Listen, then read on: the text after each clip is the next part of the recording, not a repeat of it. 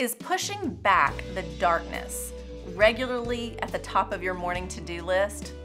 Pack lunches, get the kids to school, run some errands, do some work, push back the darkness, figure out what's for dinner. It's probably not something we think about like that in practical terms. But I know when I pray, I often pray that God gives me the wisdom and strength to push back the darkness. I pray this over our church family that we, as a body of believers, work together to push back the darkness in our communities and in our city with the light and hope of Jesus we carry. The darkness isn't something we readily see. It can be the brightest part of the day, yet darkness can surround us, even be waiting at our door. What is this darkness we need to be aware of, and how can we actively push it back? Darkness in Scripture refers to evil, sin, and despair. Light, by contrast, refers to truth, holiness, wisdom, and goodness. Jesus refers to himself as the light and how believing in him is the key to remaining in the light. John 12 35. Then Jesus told them, You are going to have the light just a little while longer. Walk while you have the light, before darkness overtakes you. Whoever walks in the dark does not know where they are going. Believe in the light while you have the light, so that you may become children of light. Jesus goes on to say in verse 46 that he has come as a light into the world, and that whoever believes in him should not abide in darkness. Abiding in darkness is living in sin. Sin brings darkness to our heart and life. And ultimately, if not thrown out, will gradually take hold of our life and keep us in the dark.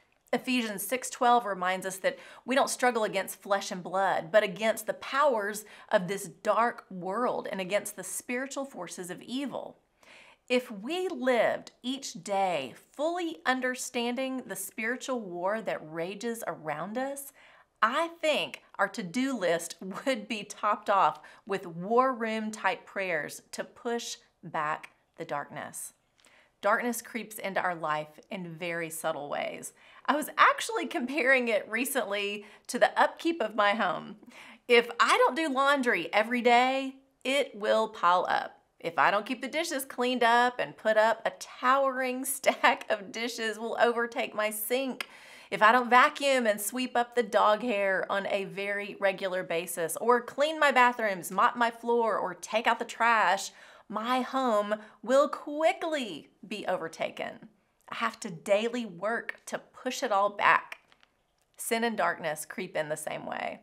If I become complacent to it and don't understand the very real threat of it at my door, it can and will pile up in my life.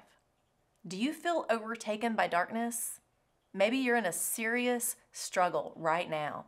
Call in the name of the Lord. Don't fight your battle any longer without the Spirit of God in your life. Jesus is the light. When we walk in His light, there is no darkness that can overcome it. That's the truth. Get your armor on. Stay prayed up, alert, and on guard. Stay in the light. Take active steps to get the sin out of your heart, your life, and your home. Love and serve those around you. Resist temptation and connect with other believers to hold you accountable and encourage you. Hide God's word in your heart daily to prepare for battle. Together, we can push back the darkness. Oh, yeah, and let's put this on our daily to do list. I'm Lori Cline.